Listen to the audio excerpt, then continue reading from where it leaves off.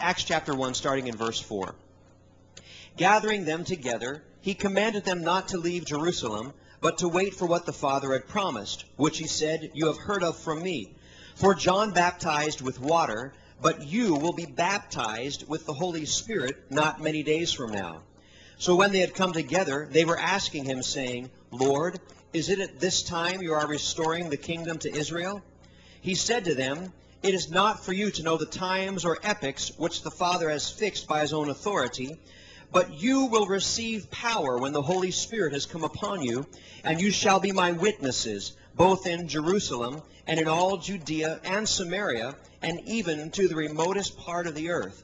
And then let's look at Acts, the second chapter, the first verse. When the day of Pentecost had come, they were all together in one place. And suddenly there came from heaven a noise like a violent rushing wind, and it filled the whole house where they were sitting. And there appeared to them tongues as of fire, distributing themselves. And they rested on each one of them. And they were all filled with the Holy Spirit, and began to speak with other tongues as the Spirit was giving them utterance. Now there were Jews living in Jerusalem, devout men from every nation under heaven. And when this sound occurred, the crowd came together and were bewildered, because each one of them was hearing them speak in his own language. They were amazed and astonished, saying, Why, are not all these who are speaking Galileans? And how is it that we hear them in our own language to which we were born? The next few scriptures gives all the nationalities. Hop down to the end of 11. We hear them in our own tongues speaking of the mighty deeds of God. You ever wonder what you're saying when you're speaking tongues? There it is from the scripture. And they all continued in amazement and great perplexity, saying to one another, What does this mean? But others were mocking and saying, They are full of sweet wine. But Peter, taking his stand with the eleven, raised his voice and declared to them, Men of Judea, and all of you who live in Jerusalem, let this be known to you, and give heed to my words. For these men are not drunk as you suppose, for they are assemblies of God. But it is, I'm sorry. Uh, it is only the third hour of the day. But this is what was spoken of through the prophet Joel.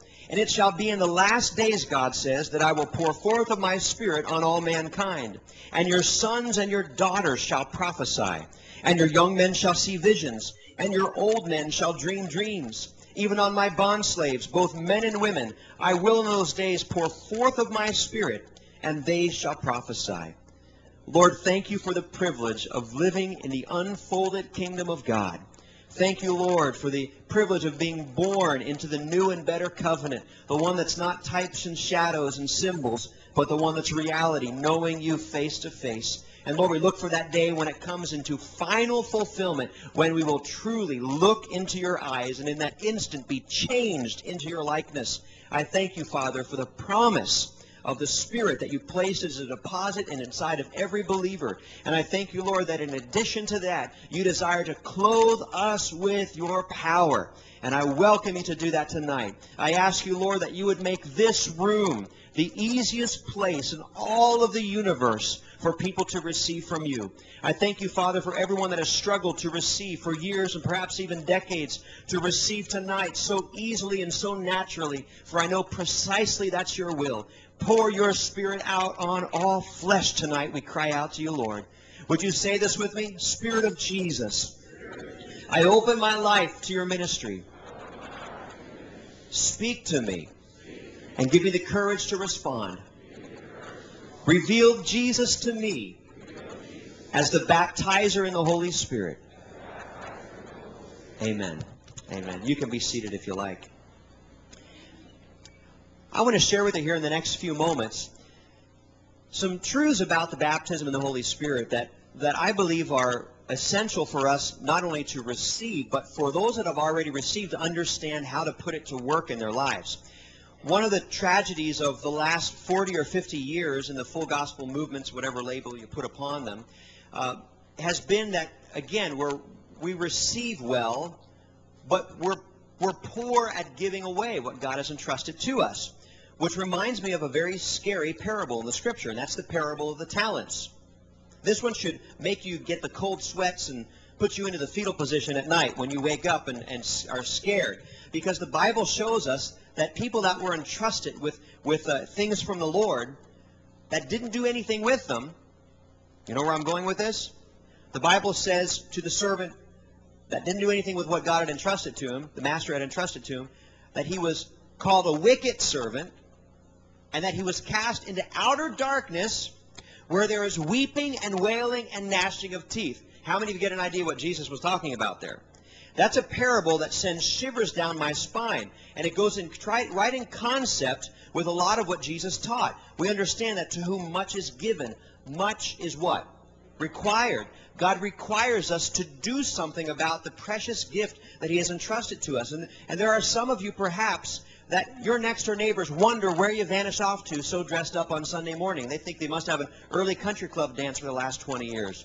We have a responsibility. We've got to tell them that it's true now that Jesus Christ is Lord.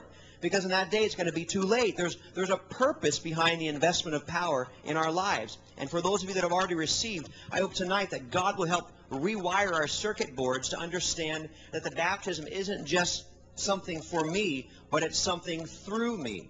That's exactly what God reveals to us in the book of Acts.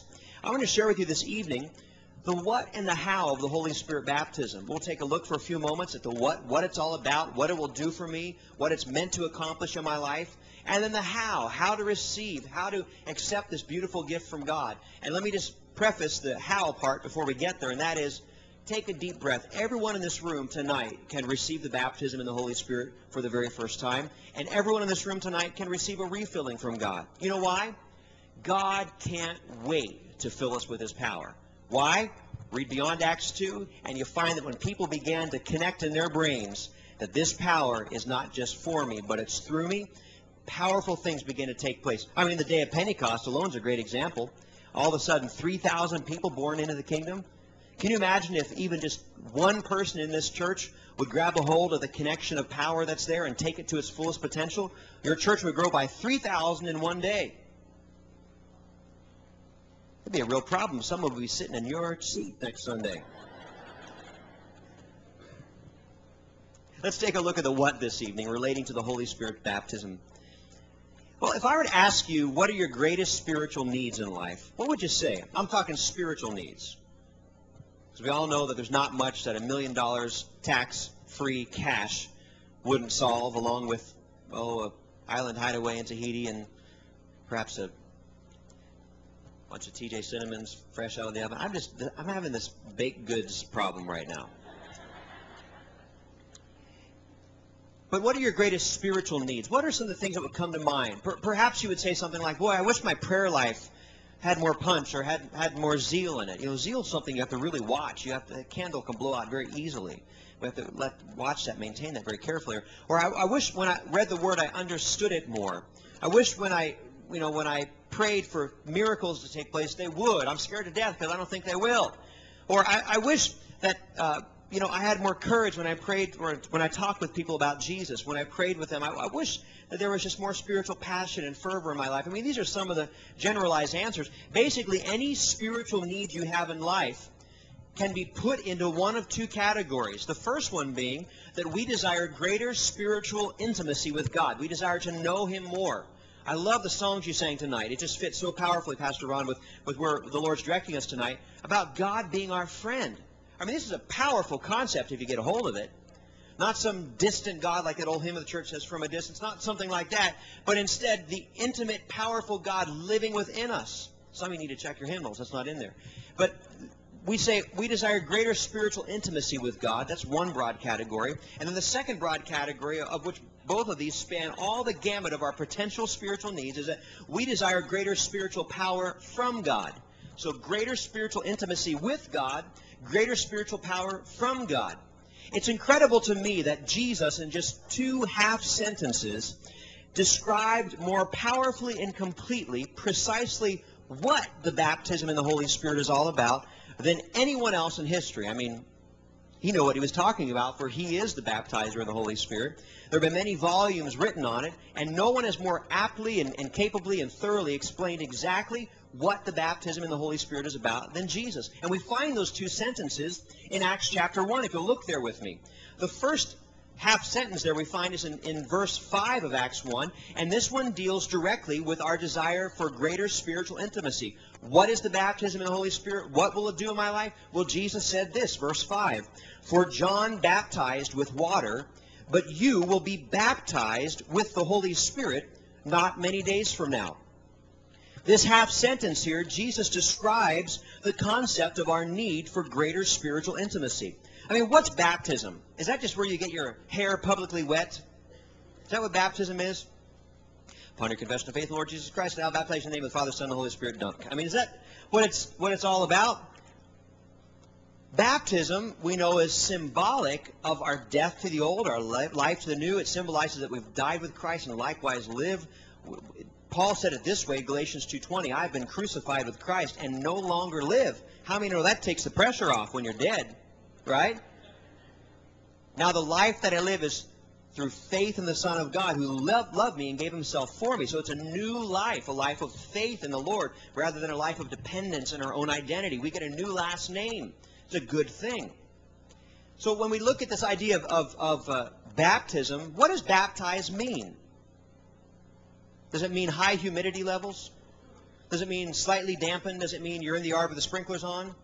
What does it mean? Baptism means totally immersed, totally drenched, totally, literally submerged is probably one of the one of the best clear understandings of what baptism is. Matter of fact, uh, if you look at some of the uh, Greek texts written around the time of the Bible, in the first century, uh, New Testament, you'll find that a lot of times that word baptizo in the Greek is used in nautical logs, ship logs, talking about ships that were sunk or sunken, perhaps, if you're an English teacher. And these ships were literally baptized in the water. They were totally immersed, drenched, sunken in. Now, who is he speaking this to? He was speaking to that, that group of Christians that probably about 500 or so we estimate from what Matthew tells us before the ascension of Christ that he was dealing with, probably the best educated guess we have. Among them were the disciples, the 11, because Matthias hadn't been chosen to replace Judas. And, uh, you know, all these people that the entourage of the close followers of Jesus, plus probably some fringe people. I mean, this was just a, a small group of ordinary people just like us, right? 11 apostles with a capital A, and everyone else was ordinary folks. And Jesus said to them, and by the way, we only know that there was one Levite apostle, right? Matthias the tax, or uh, Matthew the tax collector, right? So he was the only one that had any sort of, I mean, even in a far shot, priestly qualification because he was a Levite. The rest of them were ordinary Joes. They were Galileans. They were country folks, you know. They were like people from Eureka or something like that, you know. And uh, anyone from Eureka? I'm so sorry. But you can't ever win. There's just no way. So Jesus looked at this bunch of ordinary folks and he said, the same way John immersed you in the water, I'm going to take every last one of you. And although the high priest can only minister before the ark one time of year and better make sure the protocol's right or else God will judge him in death, right? I'm not going to let you just stand in the Holy of Holies and gaze upon the mercy seat. I'm going to baptize you between the wings of the cherubim in an intimate moment of being immersed in God. Who is the Holy Spirit? But he's God himself. Jesus said the same way John dunked you in water, I'm going to drench you in the Holy Spirit. How does that sound? Thank you, Lord, and make it a double, right? I mean, we're hungry for this. This is this is what we long for, to know God face to face. You know, you turn on the Christian TV and you hear all these grandiose stories of people getting beamed up to the mothership and having great visions of God, and you sit there and say, Man, boy, that's great. I wish, you know, I think one time I kind of felt goosebumps when we were saying he touched me. I guess that's my big experience. But God has designed for every believer to have an intimate encounter personally with Him. Look what happened in Acts 2. It was fulfilled. This greater spiritual intimacy took place. This is something that God just revealed to me a few weeks ago that really helped me. Verse 2 And suddenly there came from heaven a noise like a violent rushing wind, and it filled the whole house where they were sitting. What uh, sense do you perceive noise with? Your sense of what? Hearing, your ears, your sense of hearing. Now, when you jump in the deep end of the pool, do your ears get wet? Unless you're wearing one of those goofy rubber swim cap things, you know. All of a sudden, they began to perceive God sounds. You see, the Holy Spirit baptism changes our perception of life because we're getting immersed in God. Our senses are getting immersed in God. Look at the next verse. And there appeared to them tongues as a fire distributing themselves. What sense do you perceive visual apparitions with? Well, it's your sense of sight. They began to not only hear God's sounds, but they began to see God's sights. And look at the next part of the verse. And they rested upon each one of them. This is significant to me because the way we would like it in our context, you know, we're Americans and we like things nice and nice and orderly and controllable and all this kind of stuff. We like it our way, you know, 30 minutes less or it's free, all those kind of things. The Bible doesn't say that God sent down, like the old hymn says, a great ball of fire right in the middle of them, and they just all stepped into, you know, goodness gracious, that also just step right into. That's not what he's talking about. The Bible doesn't say that. The Bible says that every one of them, God sent down fire that separated and came to rest individually upon them. Now, there were 120 the, on the day of Pentecost. They're gathering together. We understand from Acts chapter 1. So how, what percentage, and, and, by the way, in Acts chapter 1, they picked the new guy through Holy Lotto, right? Uh, so what percentage, trick question for you, the tithers will have this one easy, but what percentage of 120 is 12? 10. See, all the tithers knew that right away. Um, that's 10%. So there was only 10% of the people that received on the day of Pentecost that were apostles with a capital A. Again, we like to think about God operating in hierarchies and favoritism, although we know he really doesn't. The rest of them were ordinary people. There was Mary Magdalene, who had, had, had experienced powerful exorcism in her life and deliverance. I mean, there was Lazarus, who had been raised from the dead. There was Mary, the mother of Jesus. And, and, and likewise, many other followers were there, perhaps even Simon the leper, at whose house uh, she had broken the alabaster box, and, and the whole house was filled with the fragrance. I mean, there were all these Jesus cronies that were there, of which I'm proud to be one. And every last one of them, a flame of fire separated and came to rest upon each one of them. God has a flame of fire for you tonight. Greater spiritual intimacy, a personal encounter with God. I'm not talking about standing distantly and having some Old Testament metered out by a priest relationship, some arm's length thing. I'm talking about God letting you pass between the wings of the cherubim, not just splashing around the water's edge, but doing a cannonball in the deep end, immersed in God. The baptism in the Holy Spirit brings greater spiritual intimacy. Let's take a look at the second part of this what. The baptism in the Holy Spirit brings greater spiritual power. I said there were two sentences that Jesus used, or sentence fragments really. The first, the end of Acts 1.5, and the, the second, Acts 1.8. Jesus said, what? You will receive power when the Holy Spirit comes upon you. The baptism in the Holy Spirit is not just for greater spiritual intimacy with God, it's for greater spiritual power from God. Now, again, this is where we, a lot of us have made mistakes. If you received the baptism many years ago and you've not been a contagious on fire soul winner since then, the second part you really need to listen to. Because this is, this is the problem. We've raised up a generation of dysfunctional Pentecostals and charismatics because we've taught them that it's a prayer language. The baptism in the Holy Spirit is not a prayer language. That's a small component of it. It's the first thing that happens, no problem. But it's probably the smallest dimension of what the baptism in the Holy Spirit is all about. Not smallest even perhaps in importance. I, am not qualified to make that call. Only God is. But really, the fullness of the baptism in the Holy Spirit is what is evidenced later on in Acts chapter 2 when suddenly Peter had the courage to stand up and speak.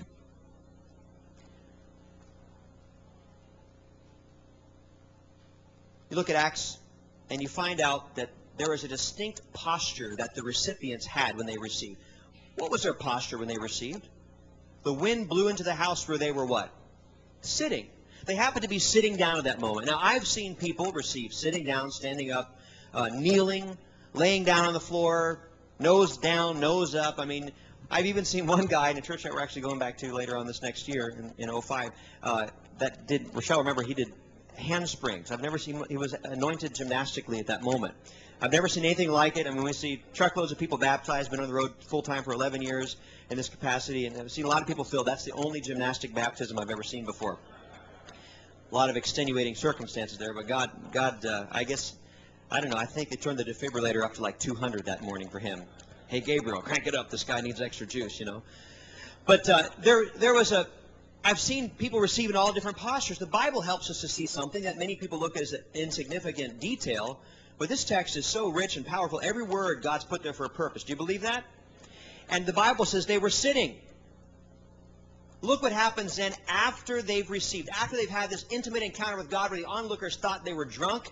I mean, when's the last time you enjoyed God so much that they had to call you a designated driver? You know? I mean, they, they enjoy God so much, so overwhelmed with His goodness. I mean, doesn't that stir spiritual hunger in your heart? To know that you can have an encounter with God, whether or not you've been filled and refilled a hundred times. God has more for you tonight. He wants to put an investment of power in you for a purpose. The Bible says, look with me at verse 14 of chapter 2. After they had received, after they had been misunderstood because they were having so much fun. Because that first part of the baptism is just for you. But the second part is for someone else. But Peter, taking his stand with the eleven, raised his voice and declared to them. You see, many people do have not done yet what Peter did on the day of Pentecost. They received, but they never changed their posture. They remained seated. The Bible says that Peter stood up and opened his mouth. This goes to the issue of tongues itself here. A lot of people have a hard time with tongues, the language of the Spirit. Oh, it's so silly, I don't know what I'm saying. Well, let me just be honest with you. If you take away all the spiritual context for a moment, speaking in the language of the Spirit is really strange to the natural mind. It doesn't make sense. Sometimes you even feel foolish because it doesn't. You don't know what you're saying. That's just the rules. God made them, and you can't change them.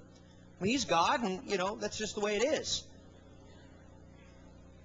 But The language of the Spirit is something powerful. We, we have, for many years, in, in trying to minister and teach on the baptism of the Holy Spirit, as, as a full gospel, Pentecostal, charismatic, whatever you label it, movement, we've just tried to get people to come up and speak in tongues.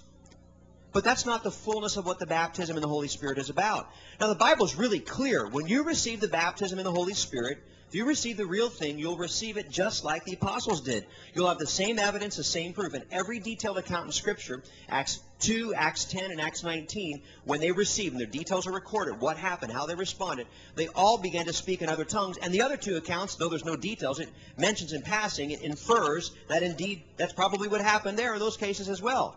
Now, is that to say that we should look for tongues, tongues, tongues? Well, yeah, we look for that, but it's not the end point really, to me, the main point about tongues is this. What did Peter, Peter say when he stood up and addressed the crowd? What did he say to them? He said, Why are you shocked at this? This is what happens when spirit smothers flesh. You begin to speak inspired words. In the last days, God says, I'll pour my spirit out on all flesh. Your sons and daughters will prophesy. They'll have supernatural revelation, even on my servants, both men and women. I'll pour out my spirit, and they will forth speak. Prophecy means forth speaking from God. Their communication will be changed. You see, when, when the Spirit of God came upon them, they began to hear God's sounds. They began to see God's sights. The Bible says they were all filled. They began to feel God feelings. And then they began to speak God words. It affected every part of their being. It affected every part of their communication. It affected every part of the input into their life. You see, here's the bottom line. Tongues to me is more than just initial first evidence, which I believe firmly from Scripture. But tongues to me is confidence. Because if I can trust God to lead me to speak in a language in which I do not understand, how much easier is it for me when I'm at the 7-Eleven, can I trust God to lead me to minister to someone in a language that I do understand? It's a proof to me that there's a new connection between God's hard drive and my lips. It's proof to me that I can speak God-inspired words whenever God desires me to. And I share this principle because I believe it's so important. All you have to do once you're filled with the Holy Spirit, if you want to, if you want to blow wide open, if you want to add an extra barn, warehouse on your life to store anointing, I mean, if you want an increase of God's anointing, how many want an increase of God's anointing in your life? If you want an increase of God's anointing in your life, all you have to do is this. Leave this room, get around someone that doesn't know Jesus, and just start talking to them. And as you're talking to them, maybe small talk, chit chat, begin to say, Lord, I'm trusting you now to begin to inspire my words. I want to teach you something that, that has changed my life. Here it is. I call it the suspicion principle. We need to get suspicious of the Holy Spirit. Say suspicious, that sounds, yeah, exactly, precisely, suspicious. Every time I feel the Holy Spirit coming upon me, I say, thank you, Lord, but what does this require of me now? What are you anointing me for? You know, sometimes God really, you know, sometimes he hits you with double voltage. You say, wow, this is an extra charge. What's this for?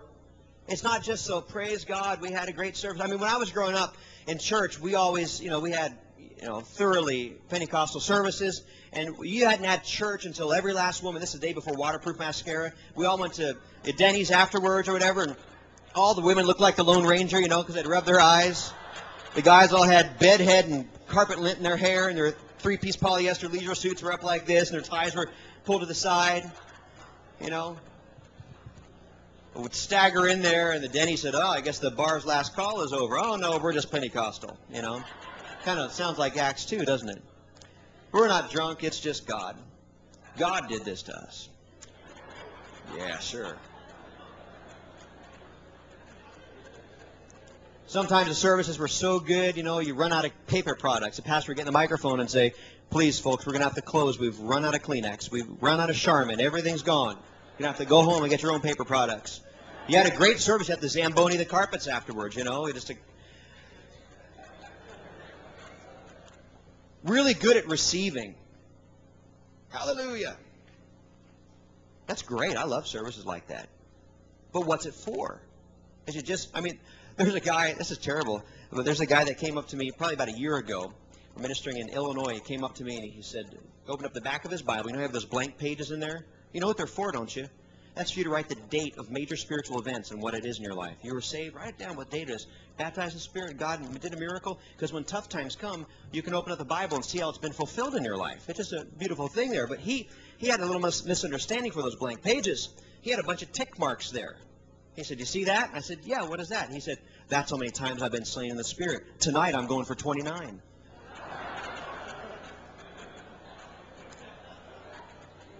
Said, Brother, I'll give you a shove right now. You can have as many as you want, you know.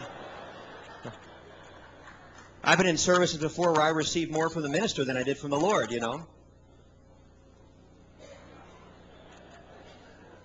Some time ago, I, I was I was in a service and uh, I was in the congregation. It was a conference, and, and, at the end, they asked people to come forward for prayer. I'm hungry for the Lord. And at the altar, um, I just felt God was just working beautifully in my life, and all of a sudden, I felt this palm on my head. I thought, well, thank God someone's praying with me. Wonderful. I received ministry easy. But the palm just got heavier and heavier and heavier and heavier. And it got to be the point where it was all I could do to maintain my balance. And I opened up and looked, and there was the minister, the conference speaker there praying, and, and and uh, I looked behind me, and kind of when it did, kind of hand kind of went like this and messed up my glasses. And I looked behind me, and there was a guy with his hand on my shoulders, and he was pulling me back too. And and I stopped, and you know, I've become very courageous. I would never normally do this, but I stopped and, and I grabbed his hand to kind of steady me, you know. And I pulled myself back up, and I looked at him and I said, "Brother, I love and appreciate your ministry, but you're really distracting me. I was really receiving from God before you started pushing on me." And he quickly left and you know went the next person. And I was the only one that didn't fall over. That's not to say I must be spiritually belligerent or something like that. But the point of it is not what seemingly happens in the moment. The point of it is what you do with what God does in your life. You know, I mean, we look at this temporary experience-oriented stuff, and experience is good. I mean, that's the first part what the baptism in the Holy Spirit's all about. But the fullness of it is what do you do with it? Do you bury the talent in the field or do you invest it and, and bring forth return in the Father's kingdom? You know, when we begin to speak in the language of the Spirit, that's a powerful sign to us. I mean, I don't know about you, but I can talk to anybody about anything. But when it comes to talking to them about Jesus, all of a sudden, my shirts begin to get a little wet around the armpit area. My palms begin a little sweaty and begin to get a little concerned, a little fearful. And I've been filled with the Holy Spirit. You know what I do in those moments? I begin to pray in the Spirit with my breath and say, okay, that connection's still there. All right, I'm safe. You know, every morning in my devotions, when, when I get up, I always pray in the Spirit in the shower, just kind of my, my thing I've done for years and years. It's a great place. The acoustics are wonderful, you know. Feels like you're in St. Peter's Cathedral or something like that, Basilica, when you're praying in the Spirit. And uh, praying in the Spirit in the shower. And, and every morning, I, I when I try to shut the water off, I say, Lord, thank you so much that that you have empowered my speech to speak your words. And I not only give you the, the unknown tongue, but I give you my English too, Lord. That's a sign to us. A sign to us. Greater spiritual power. But we must choose to change our posture. Here's what I said about being suspicious about the Holy Spirit. Let me give you the rule of thumb. Whenever you're one on one with an unbeliever, it's a God moment. It's a God moment. It may be their only chance to know. That doesn't mean you need to carry around a 65-pound Dake Bible and smash them over the head and say, you're going to hell, you lousy critter. You know, it, but it's your opportunity at that moment to open up your mouth and begin to talk. I mean, all ministry flows out of a relationship. Begin to be a friend. And, and begin to talk with people. I've discovered that in, in our you know recent societal changes in America the last decade or so, people have become less and less and less and less friendly. And even we'll go to churches a lot of times. I can say this because your church wasn't like this. At least our experience this morning. I mean, you might all be rude and just putting on the dog for us. I don't know, but you you appear very friendly to us. I mean, very. I mean, that's that's a major part of, of conjuring up a culture of belonging. And the same thing when, when you begin to build relationships with people, you'll find as you begin to develop friendships with them that as, just in your normal course of the day that God will just put things in your heart to share. He, you know, a lot of times we think of evangelism as has, having to close a deal in 15 seconds or less because it might be your only shot, but we forget that many times God just moves people towards Him a little bit at a time. Whichever way that happens, we need to be sensitive to that. And if you're full of the Holy Spirit, He'll give you the right words at the right time. I shared this principle with a, a, lady we were ministering in Pennsburg, Pennsylvania, which is near Allentown, uh, Pennsylvania. Maybe was last spring, something like that. Yeah, last spring. And at the end of the morning service, many people came forward to receive the baptism. Sunday night, we get this testimony at, at the healing service we had Sunday night. A lot of people have been healed, and they were lining up and giving their testimonies. It was a powerful moment. And this lady comes forward, and she says, "Well, I have more of a testimony from this morning. Well, kind of is for tonight too." She said, "Well, my husband and I are visiting from a church." Um, we, we moved in town here. We haven't found a church yet, and though we are have been, always been taught that full gospel people are loony, that speaking in tongues is from the devil, we decided because you're the closest church to our house that to come here. We came this morning, and she said, I looked at my husband during the middle of the message and said, you know what? We're believers. It's not like if we go up, we're going to get a demon. You know, so because we are full of the Holy, you know, Holy Spirit lives in us. We're His temple. So I know we're safe for that. And I, this has really stirred my heart this morning let's go up and just open up our hearts. And he was a little, you know, reticent to do so, but they both came forward, and they both very easily and, and quite accidentally received the baptism in the Holy Spirit. She testified about that. She said it was so beautiful. She said, I couldn't believe. She said it was, well, the moment I began to speak in that other language, although it was strange to me because I've never done it before, she said it felt like I had always been filled with the Spirit because it felt so right. She said it was like going back to an old familiar place. And A sense of rightness just overwhelmed me. And she said it was God giving me the confidence. And, and I would share with people after they received. Now, great. You've got the confidence. You can speak God words now. So when you get around an unbeliever, open up your mouth and start talking to them. Begin to trust God to guide your speech. Stand up and open up your mouth. Change your posture. Open up your mouth. Begin to speak. Right? She said, well, this morning after church, my husband and I both received. We drive out of the parking lot, hang a right onto the street, and uh, left onto our street. We're going down about a mile, we see this Dodge Caravan with the blinkers, hazard lights on the shoulder. I looked at my husband, he looked at me, and we both said at the same time, already? We pulled over behind the car. I got out. He got out. We walked up, and there was a single mom in there just in frantic tears. Her car, the radiator was boiling over. She had five screaming kids in the back and didn't know what to do. And and my husband said, you know, I've got a friend that has a tow truck. I'll, you know, I'll take care of it. And she's, she got in the car with me, and I drove her and her kids home about 20 minutes away. She said, I just began to talk to her, and, and she said something that, that floored me. She said, you know, some of the stuff I told her was so good, I went home and wrote it down. some of you know what that's all about, don't you? You know it doesn't come from you. I said, well, I'll remember that. And she said, before we even pulled in the driveway, the mother and the oldest daughter had prayed with me to give their lives to Christ. It just happened so easily. We've got to change our perception. We look at lost people as these, you know, dirty, rotten sinners that, you know, oh, God, come and rapture us out of here. When God says, well, I would if you just do what I want you to do now. God is willing that how many should perish? None.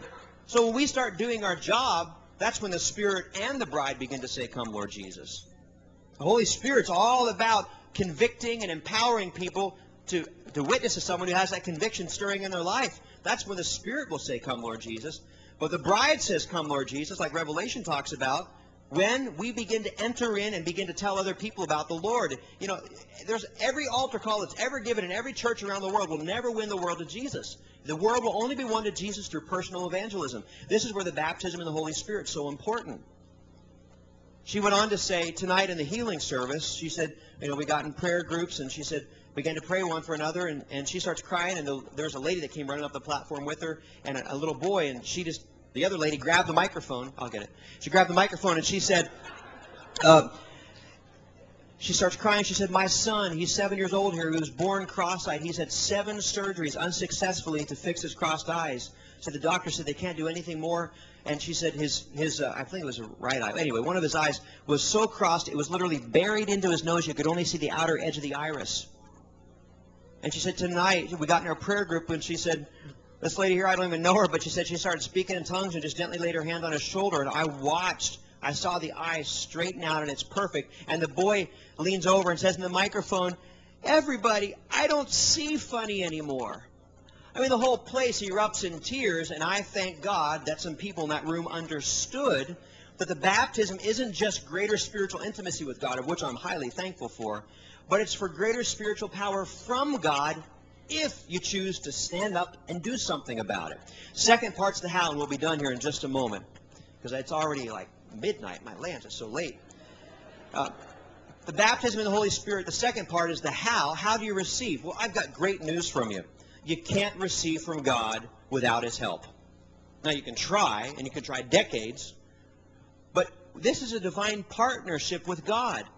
There's two extremes. A lot of people think that you need to do all this stuff to receive from God. You know, and there's books and formulas written. You just do this. You know, you stand on one foot while wearing a garlic necklace, reciting the 23rd Psalm in the original Hebrew, and you'll get what you need. I mean, it's just all this formalized junk. And that's trying to do it all by yourself. People come to the altar, oh Lord, if you'll just fill me with your spirit, I'll do this, this, this, and this. I won't do this. I won't kick the dog anymore. I won't, you know, cuss whenever I hit my thumb with a hammer anymore. I won't do this, Lord. If you'll just fill me. Does that sound like trying to exchange spiritual things for with works from God? How many know that doesn't work? It's by grace we've been saved through faith, and that not of ourselves is a gift from God, not a reward for works. And everything works in God's kingdom by faith, not works. Now, faith inspires works, but the works don't garner us anything except for the naturally expected obedience that faith brings.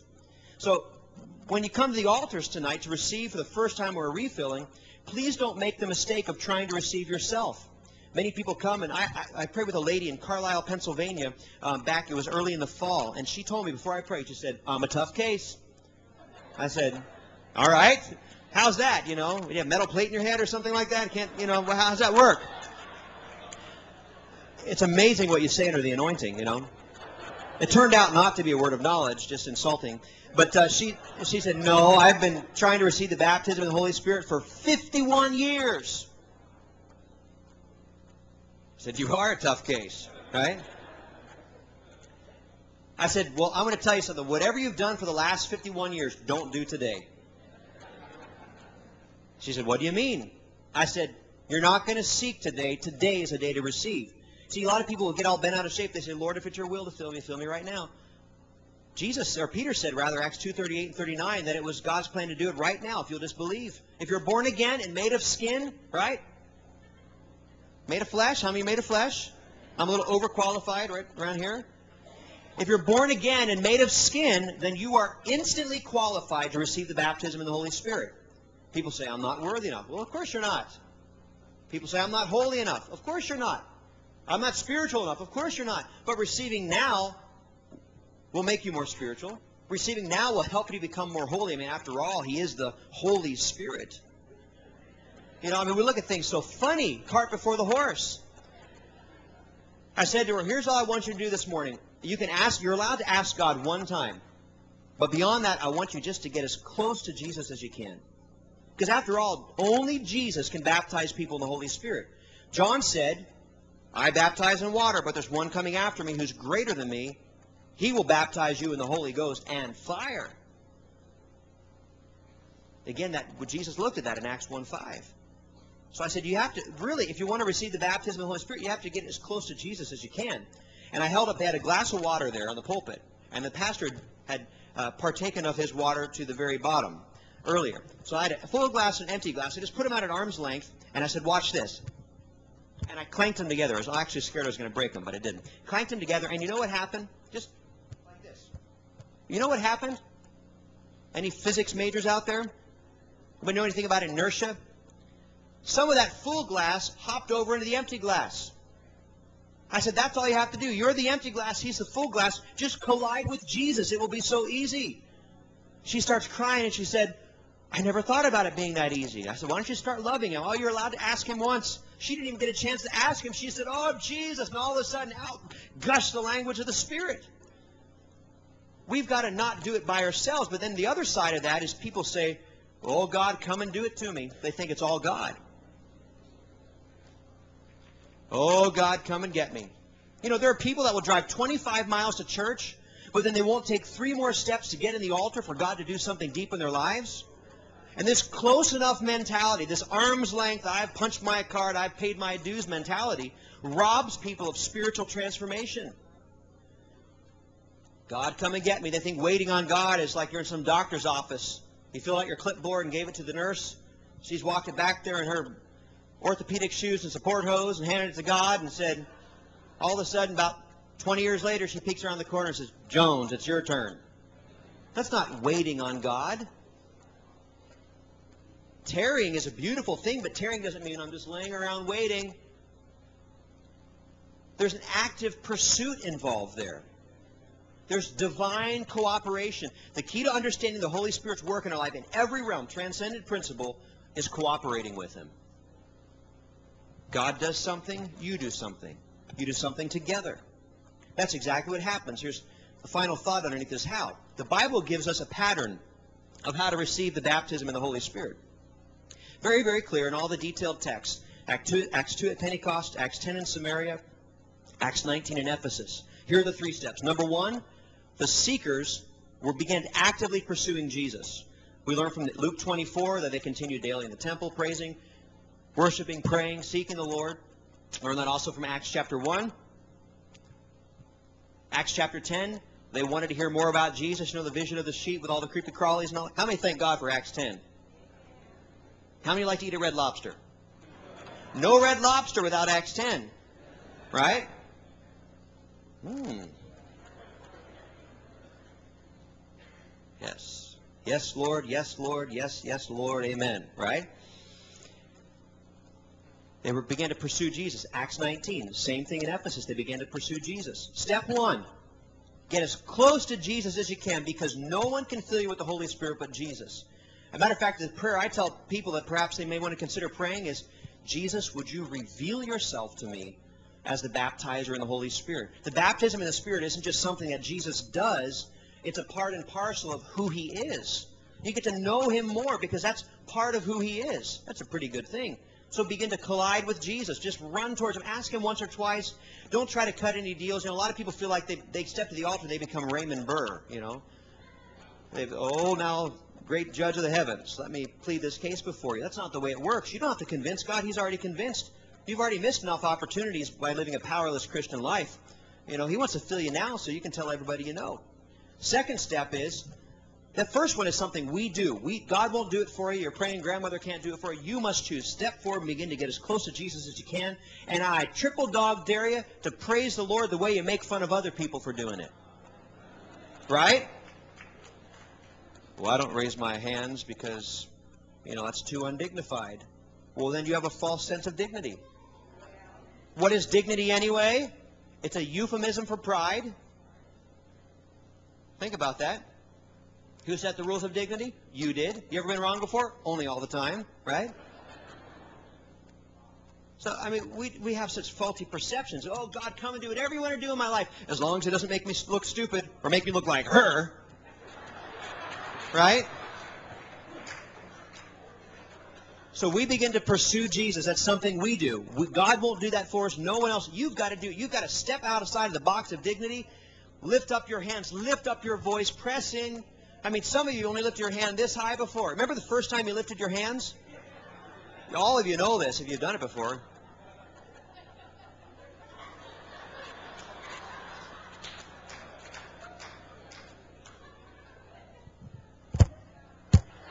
Are you going to swat flies when you get busted, you know?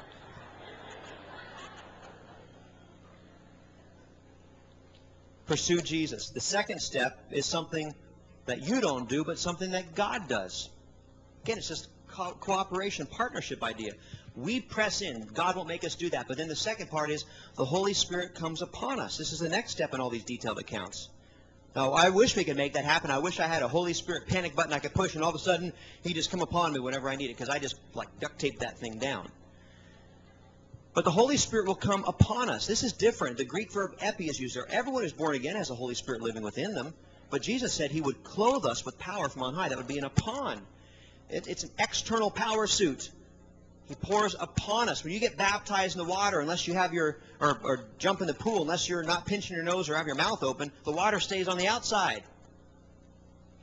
Get baptized, immersed, but it's external. It, sometimes, you know, God's already done the work inside. Now he does something from the outside in. He rubs it in, you know, on the outside. Holy Spirit comes upon us. You say, what will that be like? Will I roll around and froth at the mouth? Well, if you're rolling around and frothing at the mouth type, perhaps. I mean, I've seen people receive with great expulsions of emotion, and I've seen people that I wanted to go up and put a mirror underneath their nose and they're receiving and make sure they're still fogging it. There's one lady in western Pennsylvania, I'll never forget, she received, and and uh, I didn't think she received. There's a whole group of people. I noticed her during the service because she sat very straight and very rigid and took notes in a little Palm Pilot, you know, the whole way through and had, you know, her hair up with a pencil stuck through the, you know, bun in the back that she had in her hair and, you know, horn rimmed glasses and, and uh, she, like executive, you know, type thing. And at the end of the service, she came forward with all the others. The Holy Spirit came down in powerful ways. And I just kind of kept my eye there because I thought, you know, I wonder, she might be like the first robot I've ever met because she had just no expression. Even had shaken shook her hand earlier during the service in the middle of the, you know, the shake hands time, and her hand was cold. Makes you wonder, doesn't it? And after the service, I, I went to her at the altar. I was asking everyone, have you received? I went to her and I said, have you received? And she said very robotically, yes, I did. And it was extraordinary. Just, I mean, that monotone. I thought, wow. You know, I mean, but there's some people that are wired that way emotionally, and some people are afraid to open up to God because they're afraid God's going to come and do something freakish to them. Well, I mean, he could if he want to because he's God, but he doesn't. You know, we see rare exception unless you're living in gross rebellion, like the Apostle Paul was in Acts 9. You know, then he has liberty to pop scales in your eyes and knock you off your donkey. I mean, he can do that if he wants to, but he does that to people that are in gross rebellion. So if, if you love the Lord, the rule is, anybody ever get knocked off their donkey? Yeah? The rest of us need it. But the rule is that God does what we permit Him to do. He's a God that operates. He's not. God's not a Calvinist. A lot of people are. God's not. He doesn't push you into doing something or make you. We're not pawns in His chessboard. He's a God that gives us the opportunity that we must choose to make. First part, we pursue Jesus. Second part, the Holy Spirit comes upon us. How will you know that? Simple, easy way. You will suddenly be aware that the presence of the Holy Spirit is upon you like it wasn't just a split second before. That's simple. Then the third step. The first one we do by ourselves. The second one, God initiates by himself. But the third one, we partner together. It's kind of like a tennis match. The third one, we partner together with God to do. The Bible says in those detailed accounts that they began to speak the Spirit's words. Who spoke? They spoke. A lot of people think when God fills you with the Holy Spirit that He will make you speak in tongues, that suddenly he, he becomes like Jim Henson and begins to puppeteer you like Kermit the Frog. It's not the way it works. You begin to speak. You must choose to speak. But you begin to speak in a new language. People say, well, what in the world am I supposed to say? Well, the good news is you don't have to worry about what you're going to say. That part's up to God. It's just up to you to speak. But people still say, because we're so control oriented, but, but, but what? How will I know what I'm supposed to speak? The moment the Holy Spirit comes upon you, open up your mouth, begin to speak. But what am I supposed to say? Well, the Bible says they begin to speak in other tongues. So that means don't speak words you know. Well, what am I going to say? When the Holy Spirit comes upon you, that's your cue. It's a safe moment to trust God. Open up your mouth. Let go of known language. I tell people all the time, absolutely refuse to speak out the language you know. If you speak English, you speak Spanish, you speak Swahili, let that go. Don't even, people try to fudge and say hallelujah. Boy, you know what that means. Right? Let go of that. It's a cop out. That's like saying I'm going to jump out of the plane, but I'm going to hang onto the handle and pull myself back in, right? You got to take that risk. Open up your mouth and begin to speak. But then again, we panic. But what am I going to say? If you can trust God enough to open up your mouth and not know what you're going to say, God, and that moment, see, the Holy Spirit's already come upon you. That confidence is there. You can take to the bank. He's going to prompt you with new words. A gentleman we were ministering in, in Philadelphia this past fall. And at the end of a service, God had just baptized just a slew of people in the Holy Spirit. And I was going down the line again, making sure everyone had received, asking them. And one guy said to him, a sharp young black guy said to him, have you received? And he said, well, yes. I said, all right. And then I, I walked a person away to ask the next person. And I came back to him. I said, you seemed a little hesitant. He said, well, when I was down here praying around the altars, he said, uh, a lady came over and leaned over, and, and, I didn't see her face, but she whispered in my ear. She said, in just a minute, God's going to fill you with His Holy Spirit. In just a minute, I want you to begin to repeat after me. And so I did. He said, I'm, you know, I'm, I've only been born again for a couple weeks. So she said, he said, uh, when she began to pray, say those words, I just said what she said. And he said, I mean, I thought, boy, is that all it is? And she leaned over and she said, Are you speaking those words I told you? And he said, Yes. She said, Well, if, if you, you have received the baptism in the Holy Spirit, and if anyone asks you if you've been filled with the Holy Spirit, you are to tell them yes. Yikes. You know, I mean, uh, you know, I said, Oh, you kind of feel that that's a little strange, don't you? He said, Yeah. I said, I'll show you exactly why. And I opened up the Bible to Acts chapter 2, verse 4, where it says, They were all filled and began to speak as the Spirit prompted them, as the Spirit gave them the utterance. You see, I, I looked at him, I said, You know why you felt that's wrong? I said, You're only a new Christian, but God already helped you to know that something was up there. I said, You know, it wasn't God that was giving you the words, it was this pushy woman, you know? He said, Oh. I said, You got a minute? He said, Yeah. So we were right in the aisle. We just began to pray, and God just gloriously filled him with the Holy Spirit.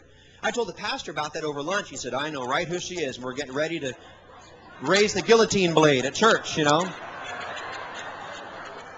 And he, he starts crying. His wife was crying when I was telling him this because they said, You know who he is? He came to one of our productions because one of his students was dancing in one of the productions they had. He said, He's the head choreographer for MTV. You know, the reason why I share that is because we panic. What am I going to say? And some people even panic to the point to totally rob the supernatural element out and tell someone else what to say. It's the Holy Spirit that prompts us, but you'll never know what the Holy Spirit is prompting you to say until you remove what you would normally say because your brain wants to remain in control. They begin to speak in other tongues. Open up your mouth and give God, push some air out and let the other tongues out. You're still going to panic. What in the world am I going to say? That's the natural brain trying to comprehend the supernatural mystery. Can't do it. Our four-year-old son, how many have four-year-olds? How many parents have kids? It's a growing phenomenon. Um, our four-year-old son is just, I mean, he is such a character. You have any kids that were born with Starbucks in their veins? That's our four-year-old. No joke. Every night when we put him to bed, he's just bouncing around in the bed. That's the way he is. He's just like this. And then when he goes to sleep, he's bouncing all of a sudden. And then he wakes up in the morning, I mean, sits up violently and hops out of bed and runs through and tries to wake everybody up. I mean, that's just the way he is. He's either on or off. And he does it all with full force. And he can't tie his shoes. Now, we travel, uh, we have an RV that we travel in because we always have our family together except for this week. Right? Uh, and, and so I put him up on the counter and he can't tie his shoes, so I'll tie his shoes there on the counter. I'll take a step back, extend my arms to him, and he always jumps. And a lot of times now he jumps before I ever extend my arms to him. And that explains the bruises right about here. Just leaps into my arms because I've trained our boys that daddy catches his kids. I don't say, Aha! Now, son, today in your homeschool lesson, we're going to learn about the law of gravity. I mean, of course not. I mean, that's my son. I, am not going to do anything to harm him. You hear about all these lunatic people hurting their kids, and you, you want to go and minister to their neck. I mean, it just it's so foreign to do anything like that to harm those little critters, you know. And, and so when I extend my arms to him, my kids know when Daddy does this that he catches his kids. He can take that risk and jump out, and I'll catch him. Jesus painted the same picture in Luke 11. He says, How many of you fathers, if your son asks you for a fish, you'd give him a viper? Here, Joey, this is called a king cobra. See if you can get his neck to flare out. It's really cool. I mean, you'd never in a million years think of doing something like that, would you? And then Jesus went on to say, if you gave him an egg, or if you asked for an egg, would you give him a scorpion? I mean, the answer is easily, of course not. Jesus then went on to say in verse 13, If you then, though you are evil, know how to give good gifts to your children, how much more, say that with me, how much more will the Heavenly Father give the gift of the Holy Spirit to those who ask Him? That means you're not jumping out of the dark and maybe or maybe not God will catch you. When you begin to pursue Jesus as the baptizer and the Holy Spirit, and the confidence of God comes upon you as the Holy Spirit comes and begins to rest upon you, open up your mouth, let go of the known language, and the other tongues will begin to spring forth out of your heart if you'll just take the risk of faith and open up and speak. That's the leap. There, there's a moment of faith in receiving the baptism in the Spirit that many times people that have stayed and stayed and stayed for years and have not received have been unwilling to take. They're afraid it's just going to be them. Well, it better be you speaking. If someone else's voice comes out, then we break out the garlic necklace, right? But it's your voice. You begin to speak. The miracle isn't that you're speaking, it's the content of what you're speaking. And it's your confidence that now, as Joel prophesied, spirit is now on your flesh. And now you have been empowered to speak God words. Would you stand with me tonight? Father, thank you for allowing us to be born again.